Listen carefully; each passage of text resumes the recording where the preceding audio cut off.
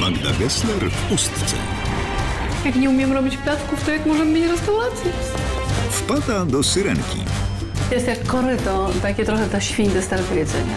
a Syrenka to nie. Zamykam dzisiaj restaurację, ponieważ ja tym nikogo nie będę karmić.